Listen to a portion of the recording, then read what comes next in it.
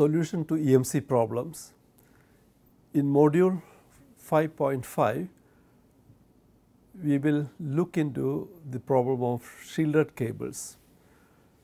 Previously, you have seen uh, shielded cables as a perfect uh, shielded cable. Now, in this module, we will look at the real shielded cables in which there are some leakage of electromagnetic fields and we will try to quantify this leakage in terms of uh, models. These are the main contents. Uh, cable shields with imperfections, uh, what are the different kind of imperfections there? And we will develop a transmission line model for shielded cables and introduce the concept of transfer impedance for cylindrical shields and experimental determination of transfer impedance. Now, consider this uh, picture of uh, the shielded cable.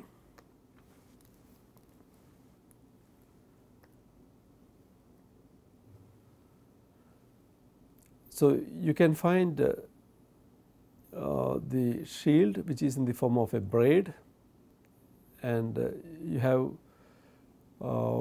insulation and also uh, one more shield over here which is uh, more like a solid shield and the inner conductor. So, this is one example of a shielded cable. Then uh, suppose there are two entities that are connected by cable screening. Now, the inner conductor is shown in dotted line and if uh, there are no sources connected anywhere, ideally you will find this VC at both ends that is between inner conductor and the shield. Uh, the shield is connected to the cabinet over here on both sides. So, this voltage has to be 0 uh, even when there is an illumination of electromagnetic fields uh, on this cable because there is no leakage. But real cables like this will have some leakage and due to this leakage you will find some voltage at both ends. And this uh, voltage we will try to determine, we will try to model. Now, if both ends are connected to a ground then it drives uh, certain current along the ground. So, the current on the cable shield is uh, here I s. Now, let us look at what are the imperfections in the cable shield. First of all, from skin effect you have seen that if there is a uh, current on the sheath, uh, diffusively it will penetrate to the inside. Uh, the skin effect will confine most of the currents to the outside, but still there will be some current penetrating to the inside. So, this is called the diffusive penetration. We have seen this already in, uh, in the case of uh, metals. Then often the shield is in the form of braid uh, weaved uh, wires for the sake of flexibility and and through the holes of the braid you can have field penetration. So, here an example of magnetic field penetration to the inner conductor from outside is shown and here a case of electric field penetration is shown. So, through holes in braided shield. And sometimes the shield is in the form of tape that is spiraling around it. So, which will the, the currents uh, on it will be having a spiraling uh, track because of that. And this will create an unbalanced uh, magnetic field inside and this un unbalanced magnetic field can create uh, a current in the inner conductor. So, this is a special case for spiral wound tape wound shield. So, in all these three sheets whether it is solid, braided or spiral wound you will have diffusive penetration. Now, how do we develop a transmission line model for shielded cables? So, imagine a shielded conductor. So, what we are interested is uh, in response to flow of a current on the cable shield, what will be the voltage developed across the inner conductor and the shield. So, this is what we want to determine. Intuitively, we know that uh, as we go as the length of the cable is increasing or uh, as the distance uh, traveled is increasing more and more voltage will be appearing here. So, let us uh, try to develop a model for it. So, this is the basic transmission line model where you have a series uh, impedance and you have an admittance also. So, you have certain currents IC and you have certain voltage imposed here or appearing over here let us say and uh, uh, this voltage is uh, V plus delta V by delta C. Now, we define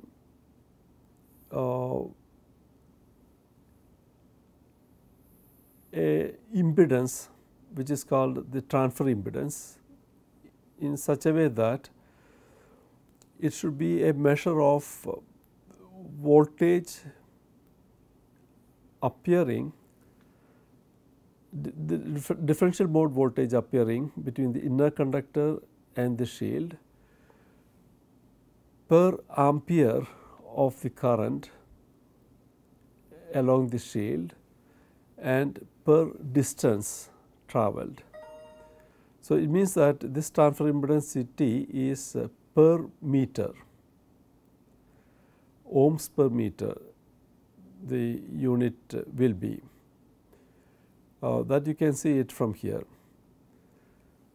So, transfer impedance is uh, defined as uh, dV by I 0 dC or this uh, source that we connect to represent this transfer impedance is ZT I 0 dC. So, transfer impedance multiplied by the shield current. So, I 0 is the shield current not this inner current. ZT I 0 DC equal to dV by dz into dc that is this part. So, this is the voltage drop over here and this is uh, the difference uh, in this. So, if you say th this is uh, uh according to the condition that I c equal to 0 only when that condition is there we can write like that. So, assume that there is no current through the inner conductor and we have only the action of this uh, V c. So, it is open circuited then you can define this. So, i equal to 0. So, I have made some uh, inconsistency in the notation here. So, please ignore that. So, here it is I c and here it is i equal to 0 like that, but from the context uh, you will know what it is.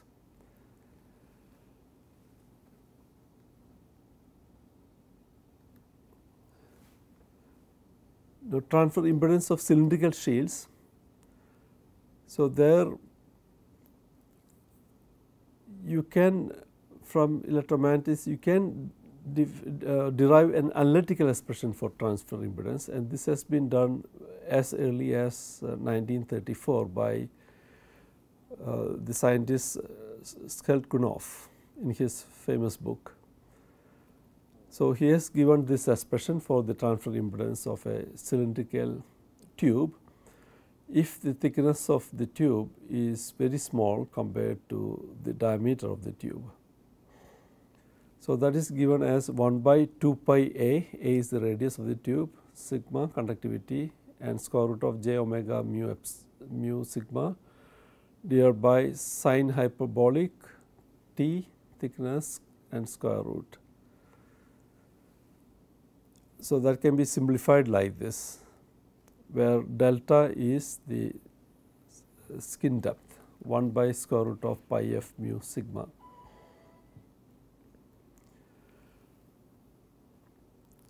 So, let us have this assumption. First is T far less than A.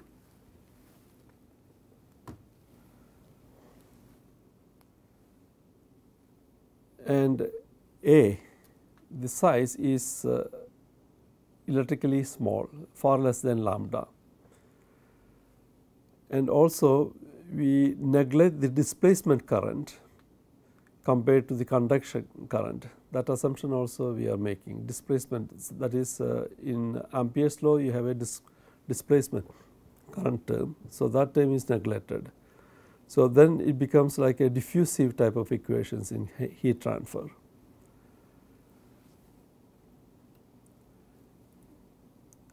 Transfer impedance of a homogeneous tube when T by delta is far less than 1 uh, that is at uh, low frequencies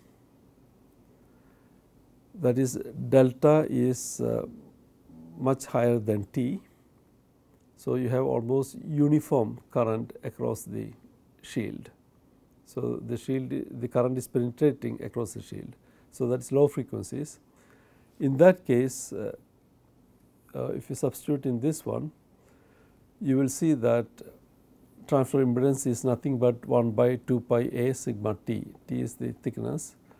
So, which is uh, the DC resistance per unit length. So, so many ohms per meter you will get. So, transfer impedance is nothing but uh, uh, the DC resistance at very low frequencies. Let us find the diffusion time constant. So, that diffusion time constant is uh, mu sigma t squared, t is the thickness. So, you can write it as uh, 1 by pi f t by delta by introducing delta and 1 by pi f delta. So, you are defining uh, a frequency f delta here and t by delta is uh, for uh, t by delta can be uh, any value in this case. So, this is only for applicable over here. So, th this frequency is uh, when f delta at which t by delta equal to 1. So, when uh, skin depth is equal to t, you can say it is equal to 1. Then uh, uh, you can find the diffusion time constant uh, for any t. For example, copper foil of 0.2 millimeter thick has a diffusion time constant of 2.9 microsecond. If you put in 0.2 millimeter here uh, conductivity of copper and mu over here you will get uh, the diffusion time constant as 2.9 microsecond uh, and you can calculate uh, when t by delta will be 1 uh, and that will be 109 kilohertz.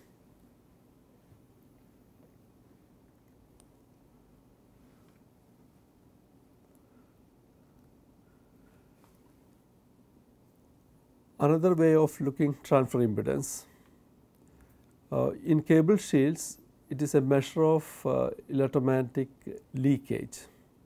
So, as said before the fields are leaking from the outside to the inside. So, this is the current density. Uh, so, let us have this uh, equivalent circuit for the shield which you have seen before. This is the inner conductor and this is the shield. Shield has got shield resistance and uh, shield inductance.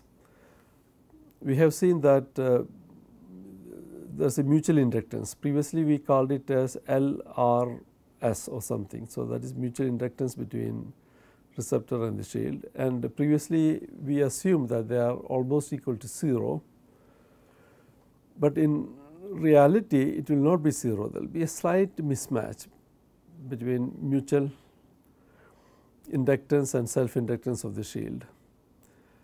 And that mismatch is uh, uh, the one causing the leakage say for example, uh, inductive leakage into it. For example, the difference between those two inductance may be altogether M12 or 1 nano Henry uh, for a coupling coefficient of 0.996. So, this is very small compared to the self inductance of 1 microhenry you know 1000 times smaller, but this is enough to have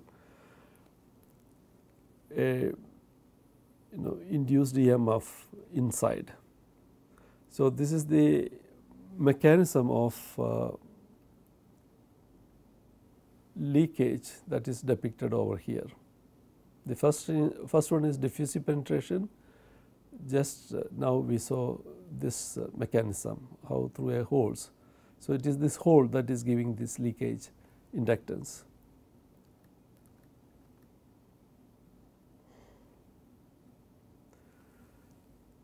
So, transfer impedance in different types of cables we can uh, write we can calculate those transfer impedance. So, these are some typical calculations uh, using the realistic properties. So, this is kind of a sketch of it. For example, one is uh, aluminum mylar foil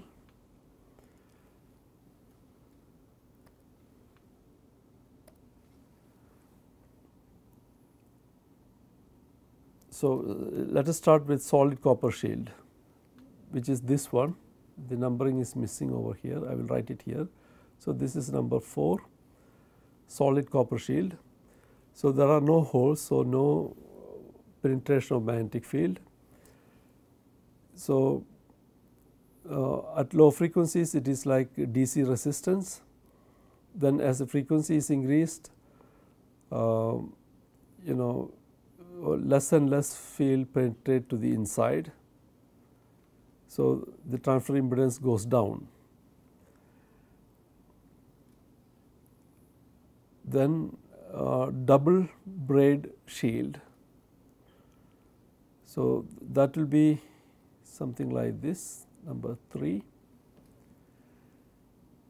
and single braid shield will be this 2 and aluminum mylar foil will be 1. So, here uh, in aluminum mylar foil you have a gap in the in this because they are not uh, really solid shield. So, through that gap you will be you will be having leakage so, this is the inductive part of the leakage and this is the low frequency part, this is the high frequency part. So, the high frequency part changes uh, with uh, 20 dB per decade and in the double braid shield initially it comes down due to the diffusive part then after that the inductive part kick over and you have it increasing upward.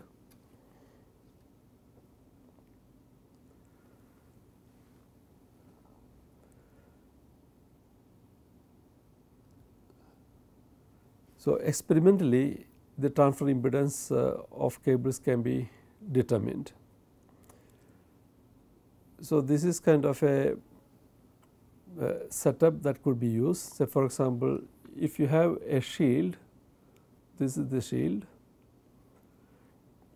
And put that shield into a tube, the concentric tube. And th those are connected to a cabinet. And inside the cabinet you have oscilloscope and you can measure this differential mode voltage.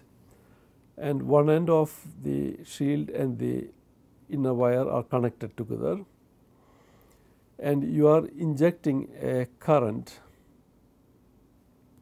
uh, to this uh, shorted combination and that is I 0. So, basically you are circulating a current along the shield So, this is a cross section what is being shown. Now, assume that the length of the tube is far less than your wavelength. So, this is uh, electrically short.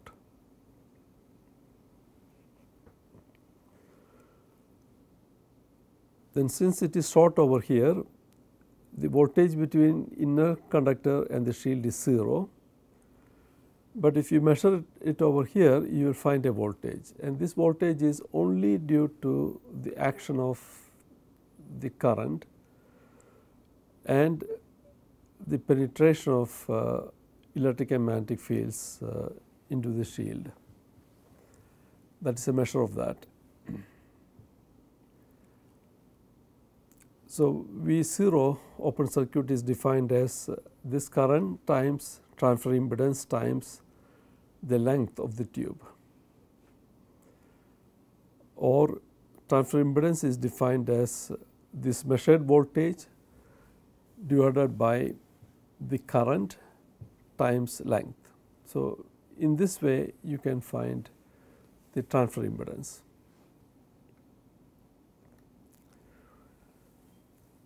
Now, what is shown here is an oscillogram of transfer impedance in time domain of an RG58 cable. So, down here you can find uh, the time division this is 1 microsecond. So, each one is uh, 100 nanoseconds and here it is uh, in terms of uh, voltages or currents this scale.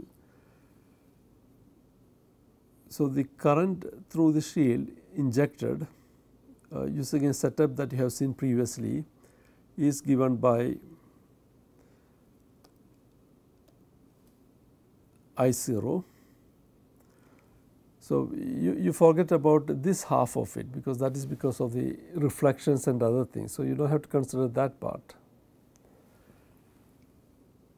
So, consider only the first half of the graph.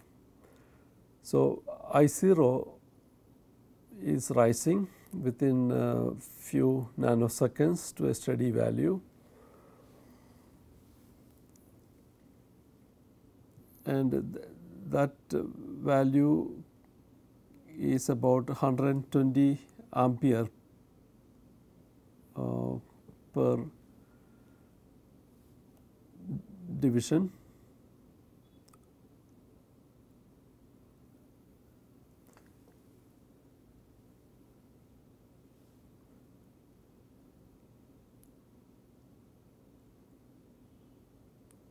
So, here uh, uh,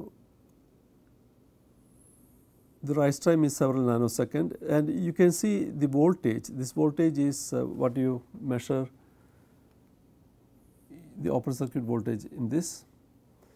And that voltage you can see is peaking when the current is having maximum derivative almost so, that is very characteristic of uh, inductive kind of a coupling. Then it goes down and it takes a long time before that voltage reaches a steady value. So, this time taken by the voltage to rise all this way kind of represent the diffusive time constant that you have seen over here diffusive time constant T d.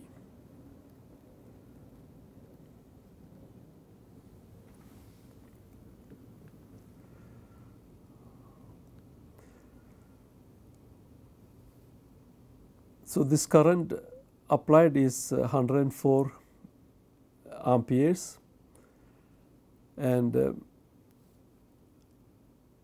uh, the corresponding voltage the peak the steady voltage that you find is around 2 2.75 volt.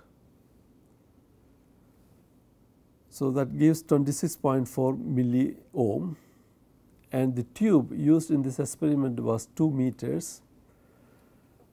So, you get the DC resistance of the shielded cable as 13 milliohms per meter.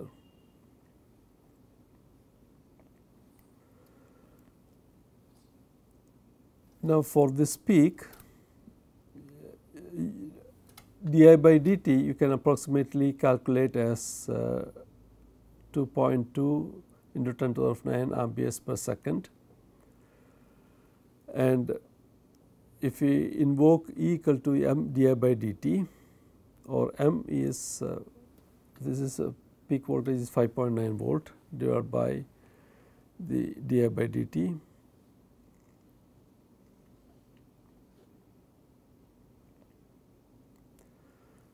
that will give you 2.7 nano Henry and per meter it gives you 1.3 nano Henry per meter.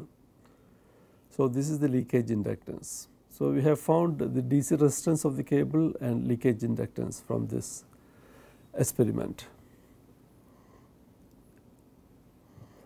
So, transfer impedance is a combination of both.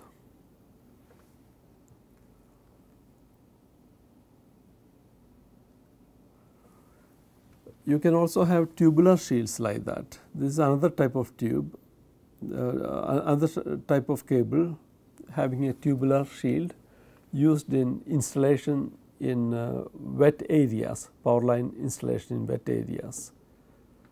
So, this cable even though it is not intended as a shielded cable due to the fact that for keeping away moisture you have aluminum foil, a solid shield, it has a very good performance and its DC resistance is only 7.4 milliohms per meter and it does not have any uh, holes it is only a small gap at the edges where the foil is folded over. So, the leakage inductance also is very small it is 0.32 nanofarad.